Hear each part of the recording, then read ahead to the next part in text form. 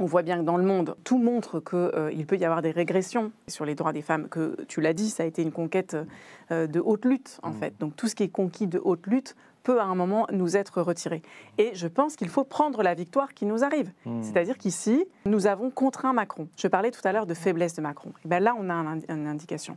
Les mobilisations féministes et leur relais à l'Assemblée nationale à travers la voix de Mathilde Panot, présidente du groupe Insoumis, hmm. ont remporté une victoire sur Macron qui ne voulait pas de cette constitutionnalisation. Hmm. C'était pas son truc à lui. Et derrière, c'est aussi une victoire des parlementaires, puisque on a d'abord commencé par convaincre le Parlement à la fois l'Assemblée nationale et aussi le Sénat. Alors certes, la réécriture du Sénat nous convient moins bien, mais c'est une victoire euh, qui est arrivée au Sénat. Et là, qu'est-ce qui s'est passé? Il faut le redire. C'est parce qu'on dit que dans la niche euh, parlementaire insoumise, nous allons remettre le texte à l'Assemblée et que nous allons réussir peut-être quelque chose d'historique, à savoir faire voter par l'Assemblée, puis le Sénat, puis l'Assemblée, et donc déclencher un référendum dans le pays sur la question et, et à un moment être seul, totalement mmh. seul à l'initiative de cette avancée historique pour les droits des femmes, là, Macron se dit, euh, en fait, je ne peux pas les laisser faire tout seul. Mmh. Euh, D'ailleurs, je reprenne la main je reprends la main et je dépose un, projet de loi. Mais tant mieux. C'est-à-dire que si mmh. ça va faire.